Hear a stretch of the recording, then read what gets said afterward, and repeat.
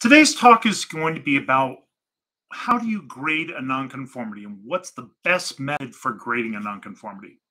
For those of you that aren't auditors and have no idea what we're talking about here, I'll break it down for you. Number one, whenever you have an audit, you have nonconformities. You have something that doesn't meet a requirement, and you have to grade those.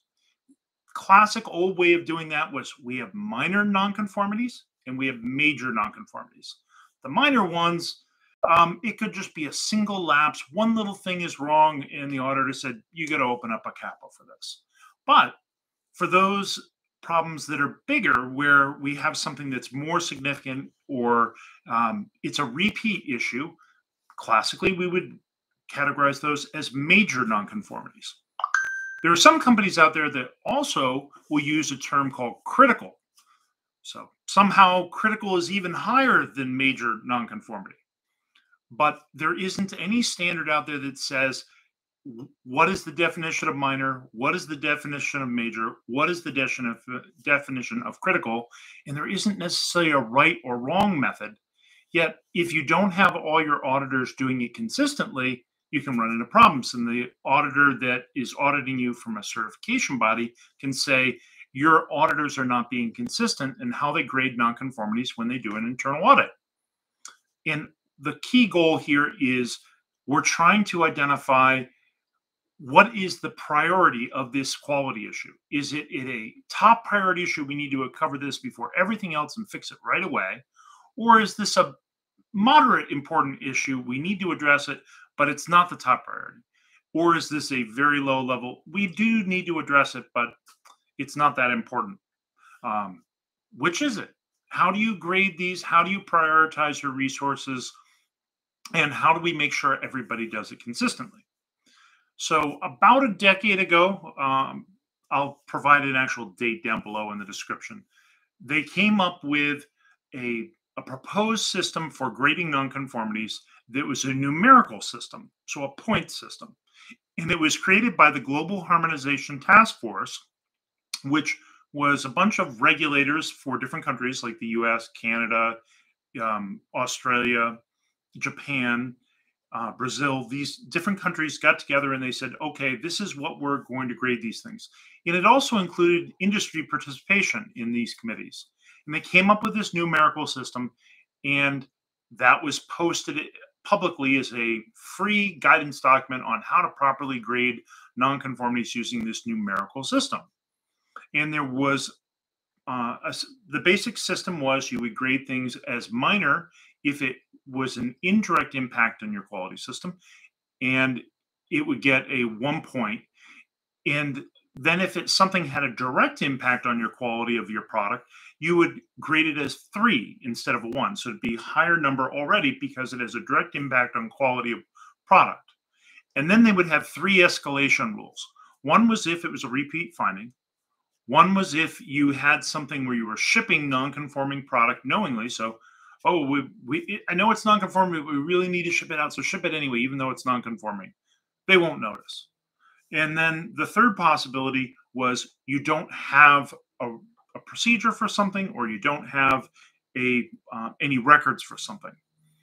And somewhere around, um, I don't know, maybe about five years ago, they came out with an MDSAP program, a medical device single audit program. It had been in a pilot for a few years, and then they finalized and they said, This is what we're doing. And it was the similar countries US, Canada, Europe, I'm sorry, not Europe, US, Canada, Brazil, Australia, and Japan. And they said, This is the program that we are going to adopt, and we're going to adopt that GHTF grading system. And one of the rules in there about the uh, you have an absence of a quality system requirement, they put in an and. So it has to be you you have no procedure and you have no records. That would be the escalation rule. So these were the final rules for how to do the MDSAP scoring. And they said, you know, even though theoretically you could have all three escalation rules and direct, and that would be six points, we're going to cap it at five. You can't have higher score than five.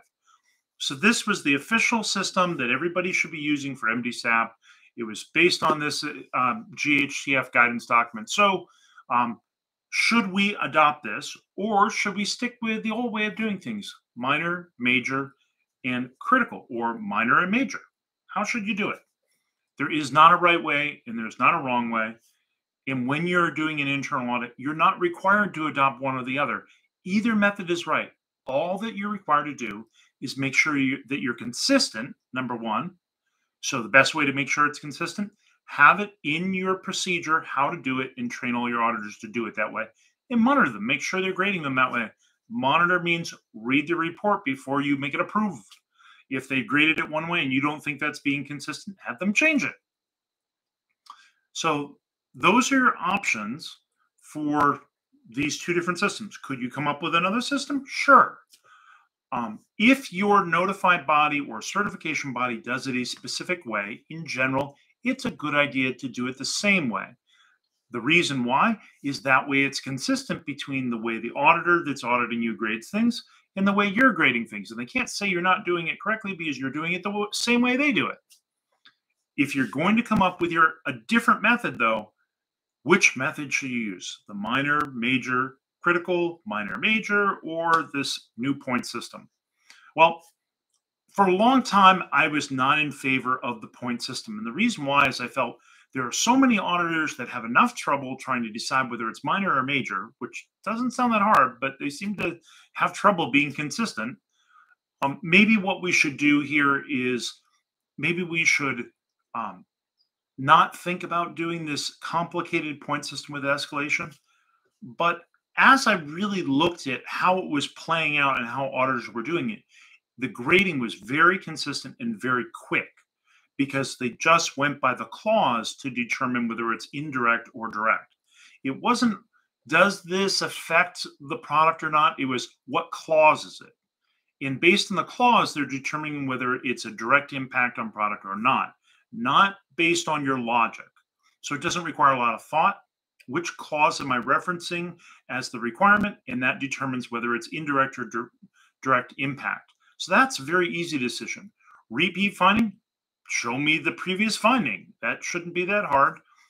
I like to the point where they had and um, it has no procedure and no records. That made it very clear.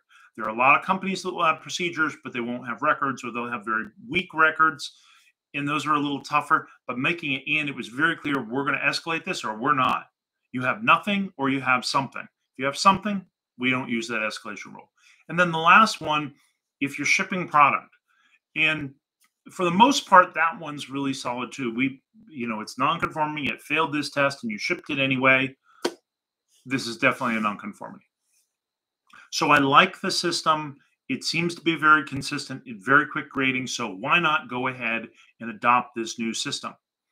And the beauty of training people that way is you don't have to put a lot of thought. You don't argue about it. You let's not argue about whether we agree with the system or disagree with the system. We're just following a standard. It's an objective standard. Whereas when you come up with different definitions for minor, major, and critical, it depends on the company and there's no standard to go to. So over time, I've warmed up to the MDSAP point system, and that's what I recommend. But the real shift, in my opinion, and really pushing this uh, MDSAP or numerical grading system occurred recently. I was looking at how we were grading um, nonconformities in a CAPA. And I said, hmm, we're putting in a matrix and we're saying high, low, medium. Why do we have a different system for grading the nonconformity that we open up in a CAPA, but we, from the system that we have in an audit report, when both of them will probably end up as CAPAs? Why not use the same system? And I thought about this. I said, I can't think of a single reason. So I called one of my employees up and I said, Matthew, what would happen if we did this? Can you see any problem if we just adopted the MDSAP grading program for CAPAs as well? And he couldn't think of any. So I switched it and immediately started getting positive feedback from auditors and clients. So that's the way we're doing it now. We're using the same MDSAP point system for both the nonconformity and the CAPAs and for the internal audit findings. All of those use the same point system. Why? Because there's a standard out there that tells you how to do it and it's very clearly written and everybody has access to it and it's free. And if you don't understand the system, you probably need a little bit of training, but it really shouldn't take that long.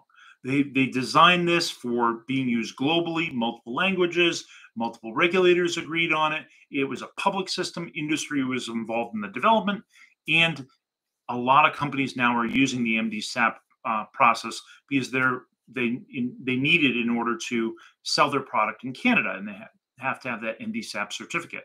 So the auditors must use that system. So that's the system that we recommend. Now, could you use a point system for other types of risk-based approaches?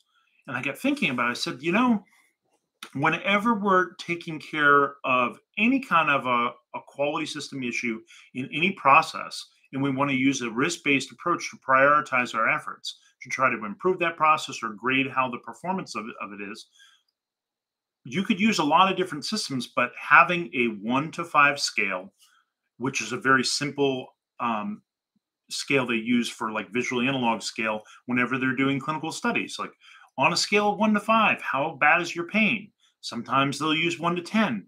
The problem with those larger scales, one to 10, people argue over whether it's a three or a four or a seven or a six. But when you have a five point scale, the it's because it's a much coarser grading scale, it's easier to decide because you don't have a lot of numbers to choose from here. So I, I do like that system. So if you're thinking about we want to have a risk-based approach and we want to number things, you could go with a high-low medium, you could go with major minor, but this simple five-point scale is a really simple system. And if you can come up with rules for your other processes that are as simple and as clear, will this be um, a one or a three? Will this have an escalation or not? Or maybe it's a one and a two, and will it have an escalation? That's a really simple system, and you could model that across the board. And once people become familiar with it from one source, they'll pr- probably be able to adapt pretty quickly for the other procedures as well. Something to think about. I haven't fully developed it out yet, but we're we're looking at changes to make our procedures more clear on how we use a risk-based approach in each of them.